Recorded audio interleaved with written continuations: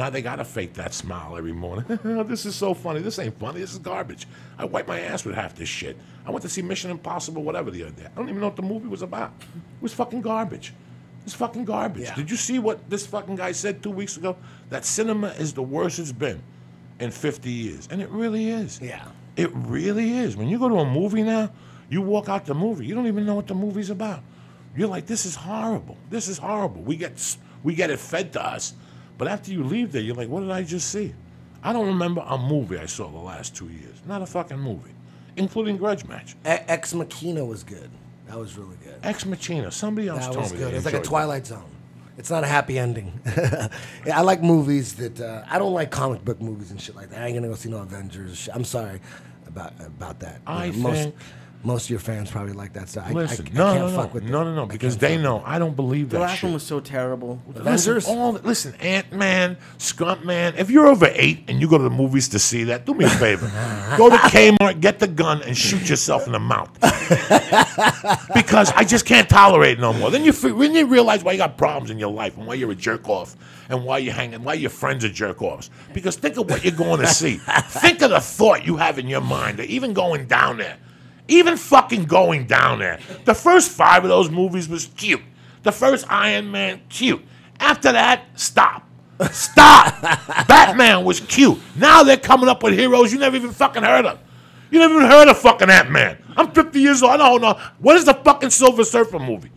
Where's the black guy shooting people on a fucking skateboard? That's the movie I want to see. Fucking Ant Man. And, and then they, they get superheroes that they these guys couldn't break an egg. They couldn't protect themselves. They, they, they couldn't fucking protect themselves, man.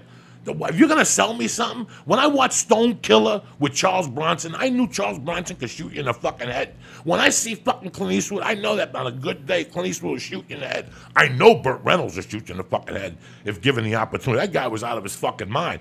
Yeah, I was telling Lee, Jeremy, Jeremy, Jeremy Renner. Jeremy Renner got an Oscar For what? I was gonna ask you. for Hurt Locker. No. He's not Oscar material. He's not Oscar material. There's no fucking way. We don't even have Oscar material type people no more. They're just fucking holograms. When I was growing up, you had fucking actors. James Franciscus. He played a blind guy on Channel 7 named Marlowe. Bruce Lee was his kung fu teacher. You know that? A lot of people don't know that he was. No, that that was uh, James Franciscus was in a different show. Marlowe was the movie with James Gardner. I'm sorry. I like him. He's, he's funny, but I don't get the Chris Pratt thing to be honest. No, he- me neither. Half of them. Half of he was on Parks and Rec as like a chubby dude. I, he's a good actor, but I don't like as an action hero. I don't get it. I don't get half this shit no more, dog. That's why I go to jujitsu and smell balls and feet. because, you know, at this point in the fucking game, I mean, I just can't believe it that this is what's going on. And I love movies, guys. I grew up on movies. I'm fucking an immigrant. You know, you dream. When you're an immigrant, you watch movies and fucking dream, man. That's your escape when you're an immigrant. You know, uh, they can't call you names. You know, it's no pressure going to a movie when you're a fucking immigrant. You don't know the fucking language. You know, that's what part of being a, an American is. When people come over here, what's the first thing they talk to you about? People from other countries. They talk to you about American culture that they've learned through watching our films.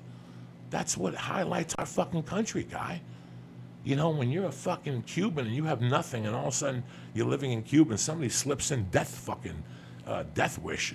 He was a vigilante. I was thinking about how slow paced Death Wish is. But he's a vigilante. Before that movie, I didn't know what a vigilante word was. When I left there, I fucking knew a new word. I learned a new word from a movie. I went into fucking fifth grade and said the word is vigilante. Bust that motherfucker. It always pisses me off how.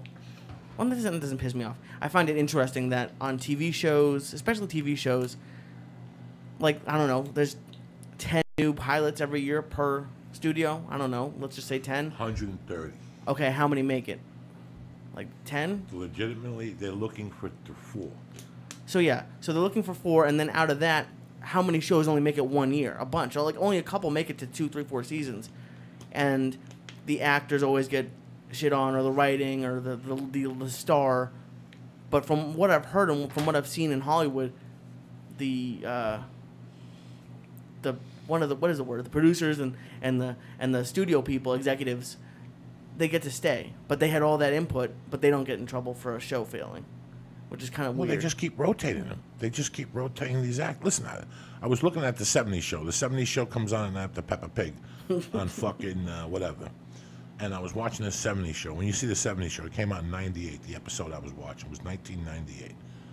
You look at a show like that. What? How many shows got put out that year? That was just the perfect show at the perfect time, with the perfect fucking cast. And I'm- thinking that going, that's the time to get into television because you know what? You always have a job the rest of your life, no matter what happens. You, you just go from show to show to show to show to show, and they'll fail, they'll pick up. Who they just give a new show to? He's a grandpa. He finds the kid. He just got a fucking DUI in Beverly Hills. They gave Oh, him a really? show. Yeah, grandfathered. oh, Yeah. What the fuck what is the his name? The Full? House dude, Yeah, right? nice guy. I'm not the saying handsome- nothing bad handsome about him. Bob Saget, No, no, the there's his handsome partner, dude. the handsome dude. John Stamos. John Yeah. Stamos. You know, they, they give you shows, and these are people that have been on TV. When you have a, especially when you have a good, sick, like like what's his name, Bob Saget will be on TV the rest of his life.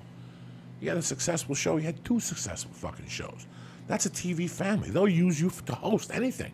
You're better than me. You're better than Eddie. You're better than you and Lee. Not because he's better than us, but because it's a recognizable face. you know who just got the hosting gig on my old show, America's Funniest? The Carlton from Fresh Prince is going to host that now. Which one?